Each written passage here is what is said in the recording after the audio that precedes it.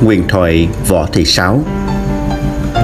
Nói đến người con gái anh hùng Võ Thị Sáu của quê hương đất đỏ Thì ai ai cũng biết Khắp nước ta Nhiều thành phố, thị xã có đường Võ Thị Sáu. Nhiều nơi có trường học mang tên Võ Thị Sáu. Nhiều người còn thuộc dòng lấy lịch chị Sáu.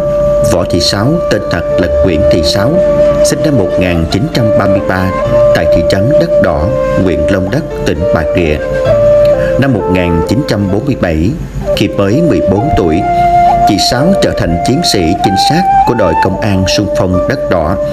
Tết canh dần, Võ Thị Sáu tình nguyện tìm diệt bọn ác ôn chuyên vào chợ đất đỏ quê chị để cướp bóc.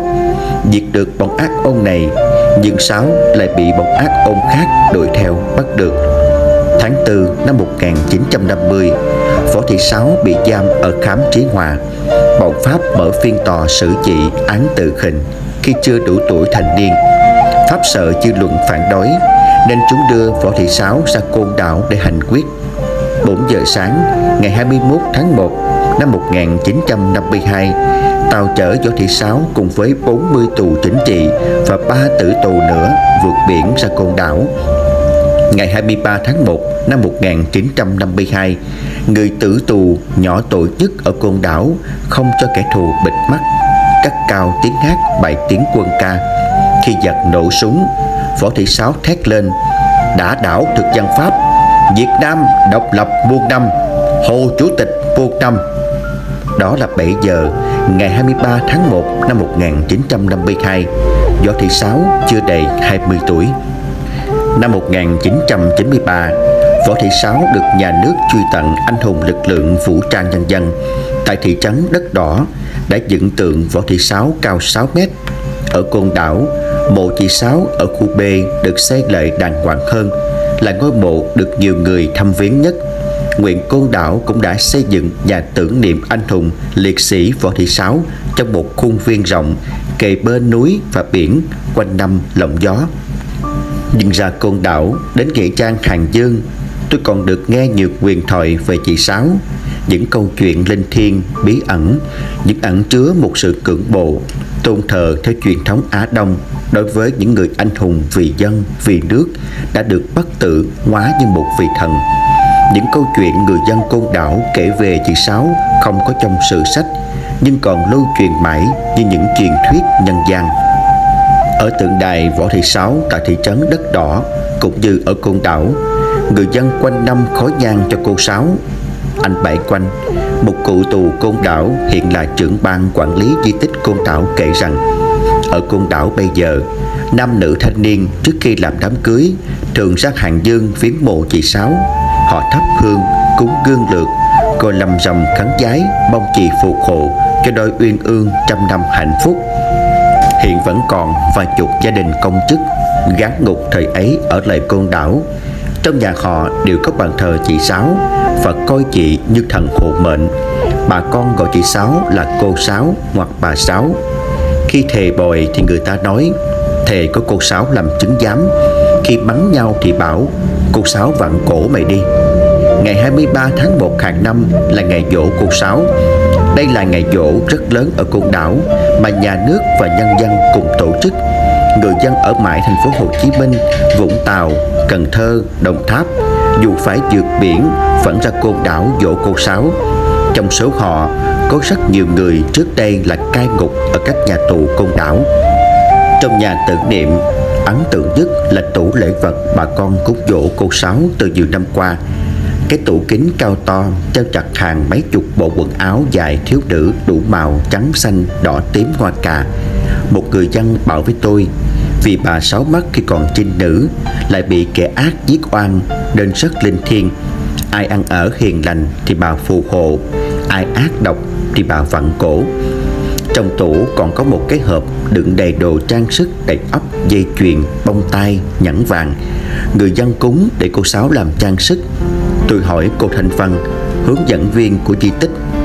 Dây chuyền hoa tai này là vàng thật hay giả vậy? Thanh Văn trừng mắt. Thật chứ sao làm giả được? Giả là cô Sáu giật chết ngay à? Những quyền thoại Võ Thị Sáu linh thiêng xuất hiện ngay từ khi cô nằm xuống trên đất Hàng Dương hơn 60 năm trước Cô hướng dẫn viên kể cho chúng tôi nghe nhiều chuyện về hồn thiên cô Sáu Ngày trước Trước mộ cô Sáu có một cây dương già bị khô phần ngọn Chỉ còn gốc cây và một nhánh dương tươi tốt vươn thẳng về phía bắc Người dân đảo bảo đó là hồn cô Sáu hướng về phía bắc, về bắc hồ Người dân côn đảo bảo rằng họ đã từng nhìn thấy cô Sáu bước ra từ cây dương mỗi tối. Cô mặc áo dài trắng, lướt qua từng đường phố, hiện lên trước cửa từng nhà, nhìn tận mặt từng người. Sau khi giám sát mọi việc thiện ác trên đảo Cô Sáu lại trở về biến hình vào cây dương khi trời chưa sáng Trước lúc mọi người thức dậy. Đến nghị trang hàng dương, thắp hương, cắm hoa trước mộ cô trước khi đi làm việc.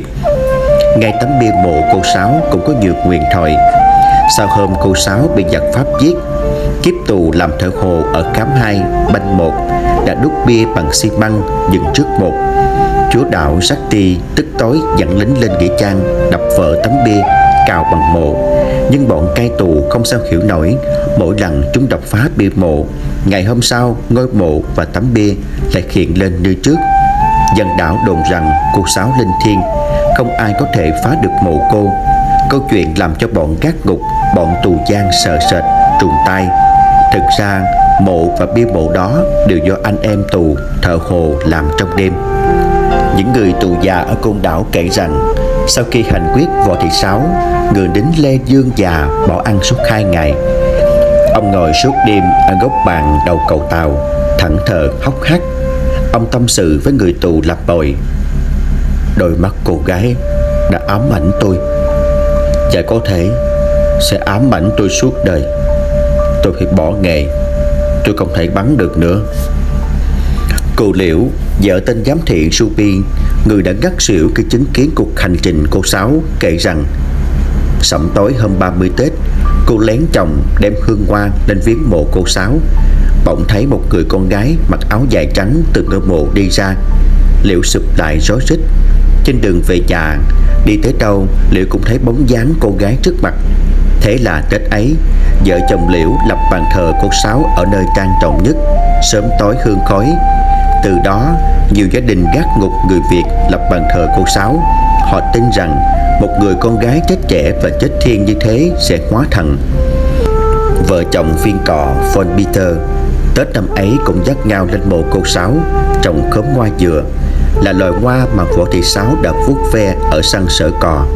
Khi vợ von Peter đề nghị chồng cho chị 10 phút ra sân không tóc, Tắm nắng, chuẩn bị ra pháp trường. Đến hôm nay, Những khóm hoa dừa đó vẫn nở bên mộ cô Sáu. Có lần người dân đảo xôn xao về cái chết của tên tù giang Nguyễn Văn Tân xác hắn bị treo trên cây bằng lăng trong vườn nhà giám thị trưởng Bát Si. Người ta cho rằng hắn bị giết chết vì vụ thất thoát 200.000 đồng tiền Đông Dương của hợp tác xã tiêu thụ mà hắn làm kế toán. Nhưng dân đảo thì cho rằng tên tăng chết là do cô Sáu bắt vì hắn là tên hung hăng nhất trong đám đập bia mộ của cô Sáu.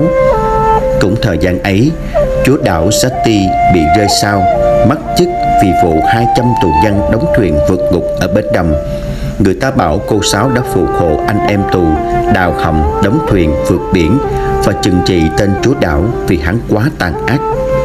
Bạch Văn Bốn, tên chúa đảo đầu tiên thời Mỹ Diệm khét tiếng chống cộng, cưỡng ép tù nhân ly khai cộng sản cấm viếng mộ cô Sáu. Trong 4 năm, bốn làm tỉnh trưởng côn đảo đã có 500 tù nhân bị giết. Hắn biết chuyện cô Sáu lên thiên, nhưng hắn cho là luận điệu tuyên truyền của Việt Cộng. Một khuya, bốn mở cửa dinh ra sân, hắn thấy một người con gái bước ra cầu tàu. Hắn rút súng cầm tay, chợt cô gái quay phát lại, bước tới và nhìn thẳng vào mắt hắn. Sợ quá, bốn bụng rủng chân tay để rơi cầu súng hất hải chạy vào nhà đóng cửa lại và lầm rầm cầu nguyện. Từ đó, bốn rất sợ cô sáu, có thằng tên là nghị mới bị đài ra côn đảo làm trật tự an ninh. Chưa biết qua linh cô sáu, hắn nghe lời tỉnh trưởng lê văn thể ra tay đập phá bia mộ cô sáu. Hắn đập nát bia, đập luôn lư khương và hai bình cắm hoa. Tất nhiên hôm sau, tấm bia mới lại được dựng lên. Còn tên nghị thì ít hôm sau, Người ta thấy hắn gầy tớp lại Vật vờ dọc đường phố gần nhà thương Hắn sốt ly bì, Không ăn uống gì được. Nhà thương côn đảo không chữa được, Làm giấy chuyển hắn vào nhà thương chợ quán. Ba ngày sau hắn chết, Tỉnh trưởng côn đảo Tăng Tư lên thai Lê Văn Thể. Hắn nghe kể nhiều về cô Sáu, Nên âm thầm lập bàn thờ cô Sáu tại Tư Chinh Và không dám tàn nhẫn với tù nhân. Tăng Tư đã một lần dùng qua lên cô Sáu để sự kiện. Hai tên giám thị nghi ngờ nhau ăn trộm, Làm đơn kêu kiện Tăng Tư ra lệnh hai đứa nhảy lên xe sát một cô Sáu mà thề, Đứa nào gian, cô Sáu biết ngay. Thế là có đứa sụp xuống nhận tội. Chính tên Tăng Tư này đã về chợ lớn, Đặt một tấm bia mộ võ thị Sáu bằng cẩm thạch chở ra đảo, Làm lễ đặt bia rất long trọng. Tấm bia mộ bằng đá cẩm thạch đó tồn tại được 9 năm. Lại bị thằng tù quân phạm tên là Sức ngang nghênh giác búa đập phá. Sáng hôm sau, thấy vắng Sức Người ta đi tìm thì thấy hắn đã nằm chết trên một tảng đá to phía bờ biển. Nghe huyền thoại cô Sáu, Tôi cứ miên man nghĩ về sự tồn tại vĩnh hằng của con người. Người như Võ Thị Sáu, Dù chết khi còn rất trẻ, Nhưng là người sống mãi với nhân dân, Với hồn thiên sông núi.